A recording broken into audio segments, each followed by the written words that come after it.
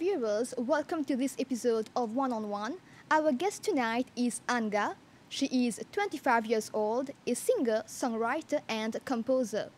You must have heard her melodious voice several times on the radio or even seen her music videos on TV. Tonight, we are going to discover more about this rising star and her musical journey. Annega, thank you so much for joining us in the studio of the MBC. Thanks for having me. It's such a pleasure to be here, always. Annega, as a child or even a teenager, you've taken part in several talent shows or even singing competitions.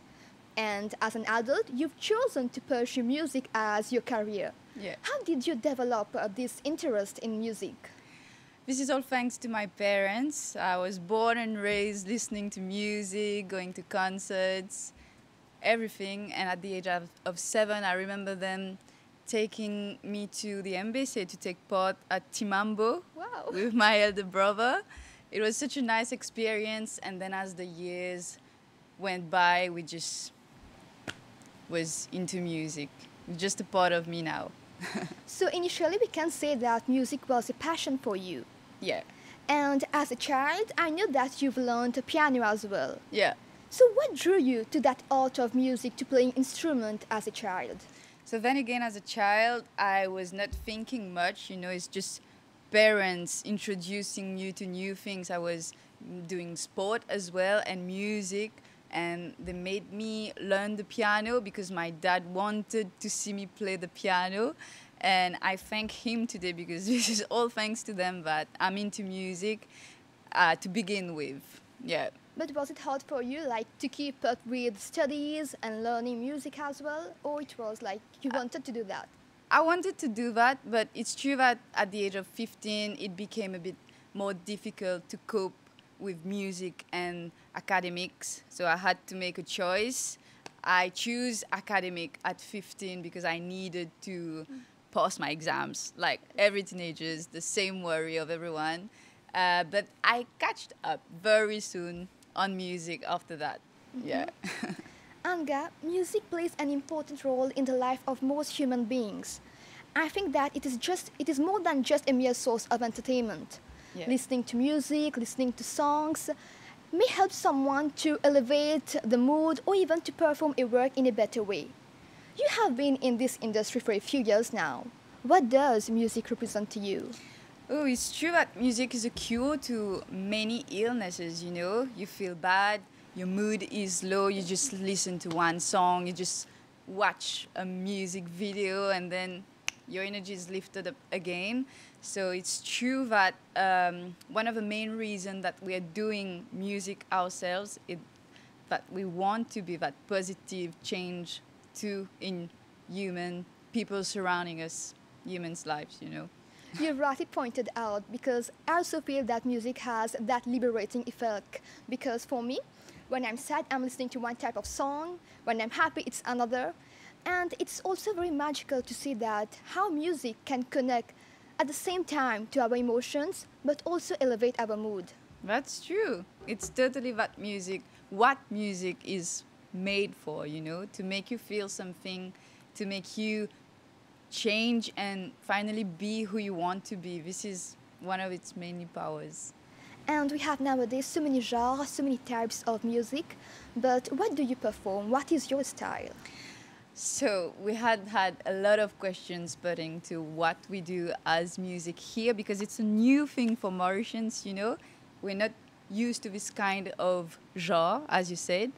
It's called indie pop. What is that exactly?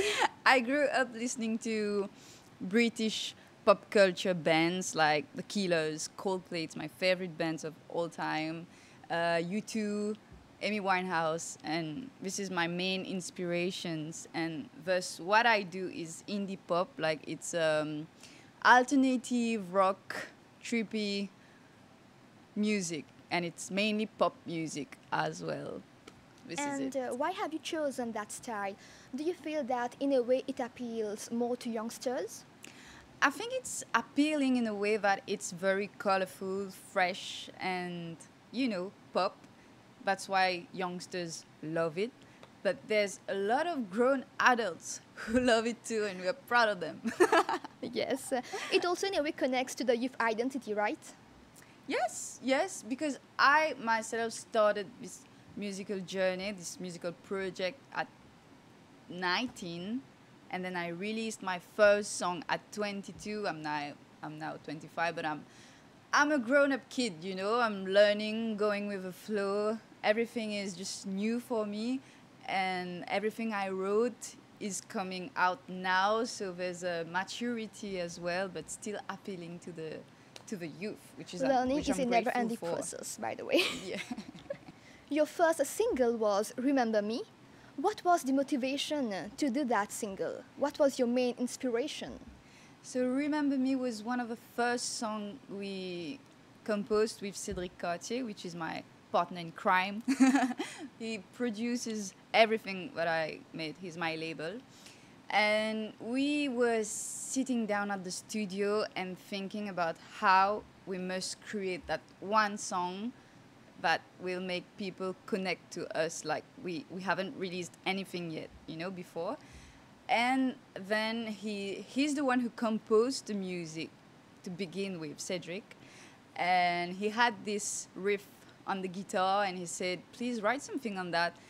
And I was like, sincerely, I don't write songs. I can't do it. I love to write poetry, everything you want, but lyrics, I think it's a bit more difficult. But he was the one pushing me into doing that. And uh, I remember we were at the studio. He kept playing the song on a loop, and then the lyrics just came in, and we thought, wow, that can be a good song. The inspiration behind is, um, you know, as a teenager, as I said, I was 20 something. Uh, we all went through boyfriends and heartbreaks and love and everything. And this was inspired by a past lover, where like Amour de Jeunesse, and um, yeah, the the reminiscence of something young, wild, and beautiful that we have at some point to to m- move on from because we need to grow. We need to. We are becoming something else as the years go by, and this is it. Remember me is about well, remember me for everything we've been through. This is beautiful, but now we're moving on. Yes, that's beautiful. So it was based on personal experience then. Yes, I, I got to say this first album, this first album, because we, we have created a lot of other songs after that, is mostly about personal experience, people surrounding me, everything. yeah. Annega, Remember Me was elected as Hit of the Year 2019. What do you think made the listeners shower their love and appreciation to that song? We were really surprised, you know, because it was out on September 2019, and then on December it was elected hit of the year. We were not expecting that at all, and I don't know to to reply. It's just that I think that it was new, fresh, and people just connected to that, and we are very grateful for that. I think also because of the universal theme heartbreak. Like you've said, everyone go through that, so it was easier to connect to that song in some way or the other. Yes. And then there's a there's a I don't like the word branding because we're humans, you know, but we have a beautiful team behind Annega. If you we were talking about the music video a bit Yes. before. Uh, there's a story behind each music video and songs, and I think that people like. But there's a there's a unity and team behind everything. It's just not one person. If it was just me, I wouldn't have been here. You know, there's a team behind me, building up, bringing up all the colors. It's always about team. Like it's a team that helps you to achieve your goal. That's it. It's a big industry where we are surrounded by professionals, photographers, video, uh, music producers, and everything is just accumulation of everything to make it what it is today. Yes. Annega, you are launching your debut album uh, this year, and it's titled Remember Me. Yeah. what is the concept uh, behind this album and what inspired you to, to do an album now? So just for the little story, our album was supposed to be out last year in April, but due to COVID and everything, we decided to Push it, uh, yeah, postpone push it, it, yes. postpone it, and it was a good idea, uh, not good for the fans, you know, who are waiting for it. But uh, they made up their mind and they're okay with that now. because good things take time and we've worked harder on the album. We brought in more songs, so now it's an album of 14 titles. We've uh, one collab and um, a lot of beautiful songs about Mauritius and everything surrounding me again. And yes, I hope it. it and it consists of, question. of how many songs, the album? So there's 14, ti- 14 songs. There's already five titles which are out Yes. with their music videos on YouTube. Go watch them. uh, there are three of them who are on all digital platforms, and the rest is coming with uh, album release. It's gonna be out in September. We're excited. We're working on a big artwork for the album pockets and everything. By the way, if people want to pre-order the album, it's totally possible on my website annega.mu, where they can be among the first to receive the album when it's out. I'm sure our viewers as well are impatient to listen to that new album and enjoy the songs in it. Annega, why did you choose the title Remember Me for that uh, debut album? Uh, I think it was an idea of Cedric, to be honest, because I always come out with a lot of weird names, and I said, no, we can't do that. and um, he said, Remember Me is fresh for a brand new album, and it's a bit um, meaningful for us as well because it was our, our first single and the one single, the one single that um, made us known to a lot of emotions. It helped you achieve a lot of success, that first single. Yeah, so that's why I think "Remember Me" is the winning title. Indeed. And like you've mentioned earlier, the album consists of 14 songs, five tracks, uh, namely Remember Me, Charlie, Sweet Wild, Home, and Nuchizil have already been released. Yes. And they all talk about a specific theme, a specific emotion. But how was your experience while writing each song? So the writing process is uh is a crazy one, you know, because you never know when the inspiration is gonna strike, but then you have to go and look for it. You know, it's not just that I'm gonna sit here and wait that it comes. Sometimes I sit here for days and nothing come, you know? It's crazy, but I'm really lucky again to have Cedric pushing me into working actually. And uh, inspiration come in many ways. Sometimes I'm just uh, walking on the street and I remember, for example, Sweet Wild. Yes. I was working in Port Louis. I didn't release any song yet.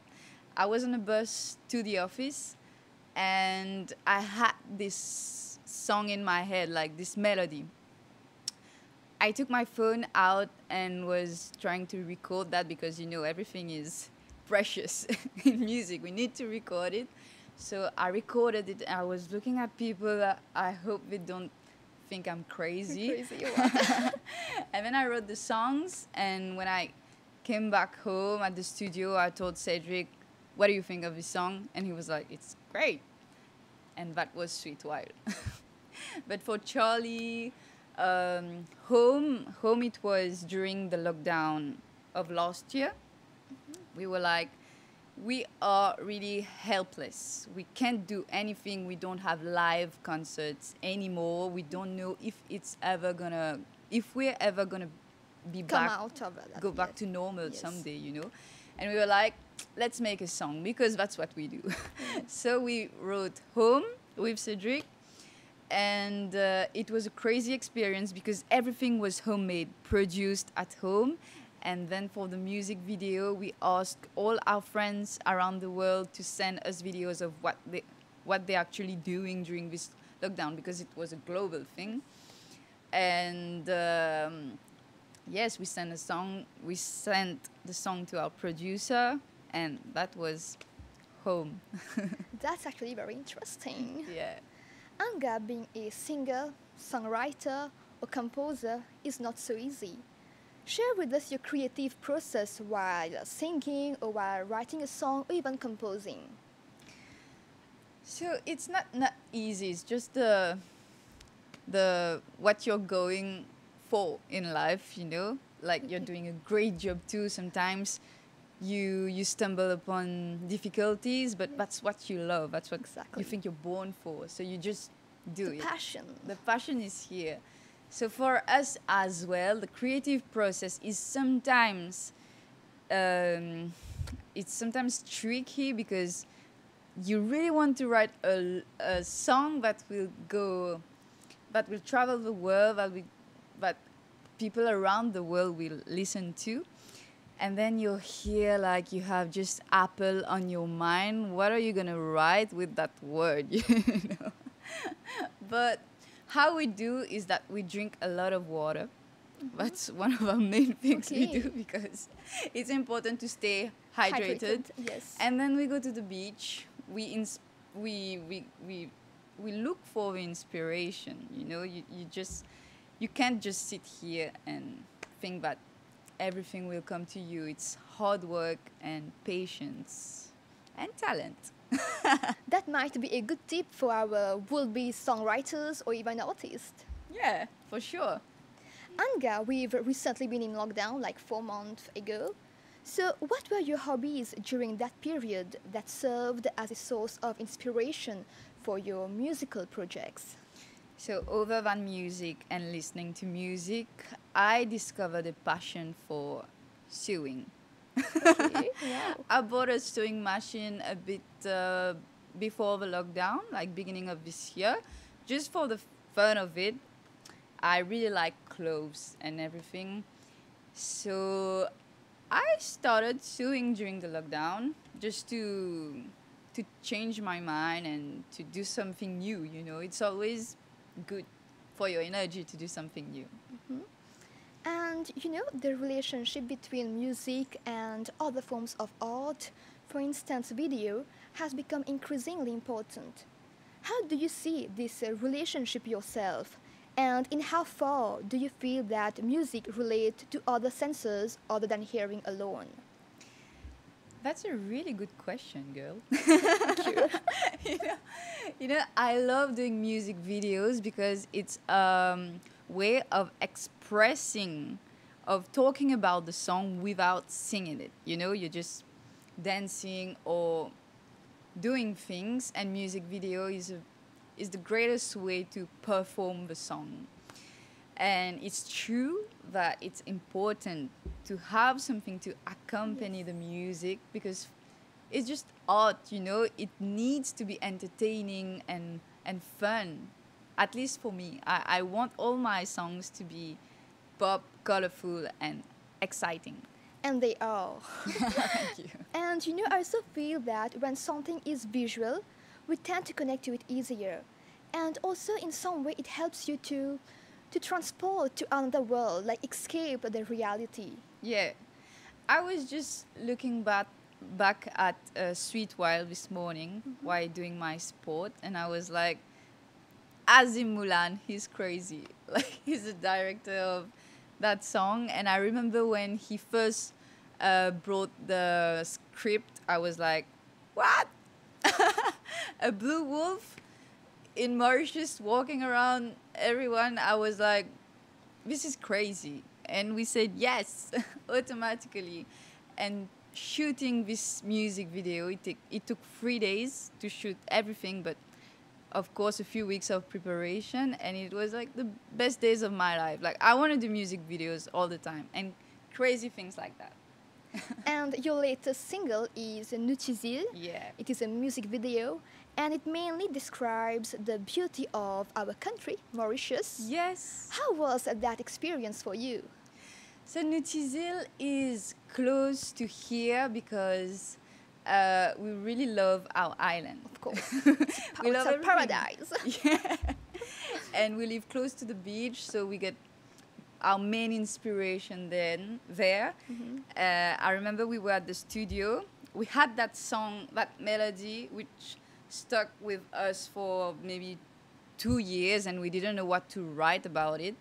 And Cedric just said, "Why not write a Creole song?" And why not write a Creole song? And I was like, wow, this is the first time for me. I'm not sure, but let's try. And then I had uh, my acolyte, Emmanuel Desroches, who is a great artist, great musician as well, who we have the chance to work together for, for a year now. And we made a one week residency where we uh, composed the song and didn't write the lyrics yet, but composed everything. Um, I remember it was a magical moment, just thinking about everything that Mauritius is bringing to our life, like everything positive that the island can can do to us living here. Um, and that's it. The lyrics are very simple because our love is simple, Mauritius. Quand tu vins le motisil, mon pour faire toi, causer, rier, lever, danser, lever, vibrer. This is what we do when we meet people from. It comes from the heart, maybe. Yeah. Yeah, it's from the heart. Mhm. Annega, Exactly. what are your ambitions now as a singer, songwriter, or even a composer? ambitions. So release the first album in September, and then we have a lot of uh, exciting projects coming too. Apart from the live shows, which was a bit uh, in pause for the moment, uh, we wrote a song recently for the Caudan Art Center, which is a beautiful new way of working you know we, we like doing collabs and writing specific songs for specific group and we hope that this is gonna come more because we really love to get in, inspired by things like Caudan Art Center we love being here and everyone who works who work there are so friendly and it was very easy to write a song for them it's called it's just a coma with Vincent Brassem and Emmanuel Desroches. And any advice you would like to give to our would be artists or songwriters who hope one day to make their dream come true, like you've done? Advice pursue your passion, work hard, nothing will come to you like free. And I guess you need to pray a bit for your luck to, to come to life and be close to who you are and be kind. Be kind, be humble, do what you need to do. That was indeed very motivating. Mm. We are actually drawing towards the end of this episode. But Annega, before we let you go, please sing a few lines for us. Oh, so I'd like to sing a few lines of Nutizil. Okay.